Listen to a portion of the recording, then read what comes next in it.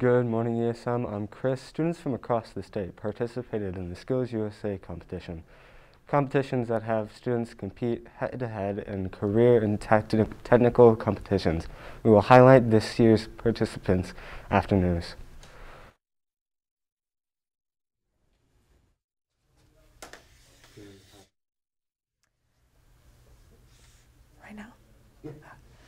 ESM, these are our top stories for today. A Syracuse man who was charged as a proud boy in the Capitol riots has been fired from Happy Mushroom Digital Media Company, which he started.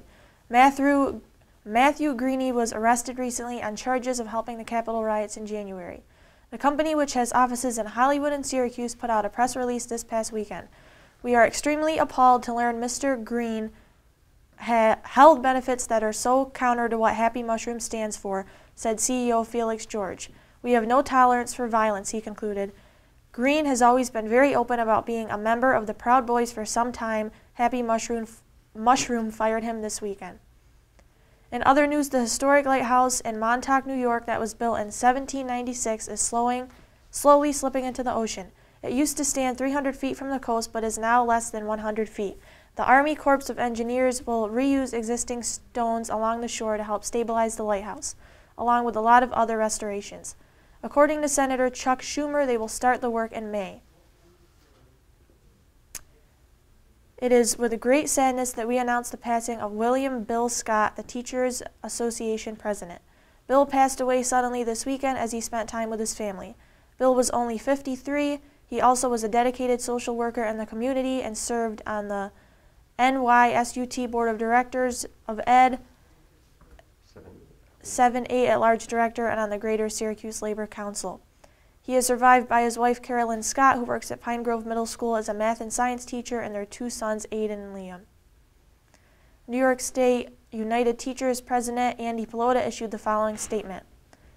The entire NYSUT family mourns the passing of STA President Bill Scott. A passionate advocate for Syracuse students and education professionals, Bill always brought a positive approach to his leadership and ensured that all voices were heard. He carried himself with great integrity and always took pride in his work. As a union family, we are here for Bill's family in this outbreaking, heartbreaking time and extend our full support to his loved ones. Please stand for the pledge.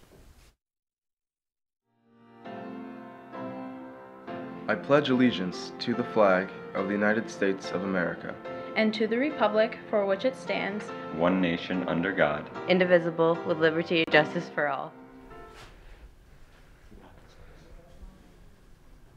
Attention senior variety show participants, sign up for your rehearsal recording times this week for the CVS Classroom ASAP. Any senior that wants to submit photos for the SVS slideshow, please do so by Saturday, May 1st at 4 o'clock p.m. Photographs must be submitted to the following email address included in this year's SVS slideshow at svs at esm21 at gmail.com. In the subject line, please include the first and last name. As always, if you have any questions regarding the Senior Variety Show, please contact Mr. Burgess and or Ms. Kakamo via email, Google Hangouts, or in person.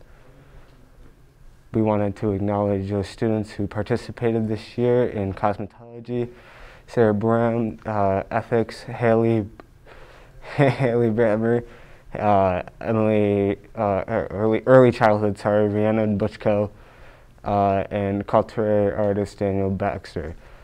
Uh, today, on Monday, we will have a high school, uh, and now on to weather, I guess.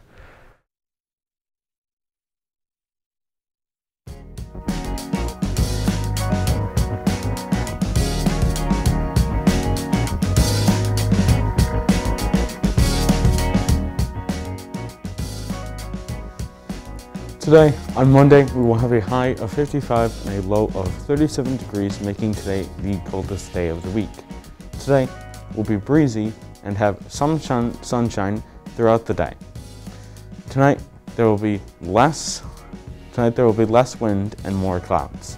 On Tuesday we will have a high of 68 and a low of 54 degrees and it's going to start warming up the week. Tuesday will have some intervals of sun and a risk of showers as the day progresses. Wednesday will be the warmest with a high of 74 and a low of 53 degrees. Wednesday will have some rain.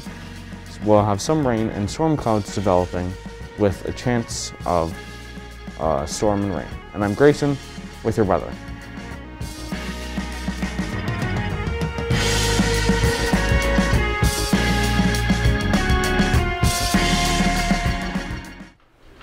ESM has been participating in skills for the past five years since cosmetology teacher Nikki uh, Panty introduced the school into the competition.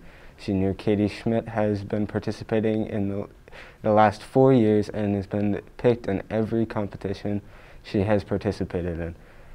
This year, we joined forces with Todd Durantini. Together, the team was recognized as the 2020 New York State champion and they will compete in nationals sometime in June. Here's a look at their prize winning video. Most schools across New York closed. Many students across the state have felt an impact of the quality of their education. Well, a lot of the like biggest problems that I noticed was that it was hard to like get in contact with teachers it definitely helped me a lot once I came back into school. Some of John's teachers are noticing the improvement after seeing him in person. Um, it's easier to connect with John. Most kids, when they're virtual, have their cameras off, and really all they are to us sometimes is a circle on the screen. More focused when you're in person because when you're in school, your mindset is this is school, and school is where we do work, and school is where we learn. Although some students are struggling with the distance learning model, some students are thriving out of the hybrid model. So like many learning situations, some work for some kids, some work for most kids. Uh, sometimes students have the ability to thrive, and so we've seen all of those similar scenarios. No matter what learning model you are in, hard work and staying engaged will help you make the best out of your year.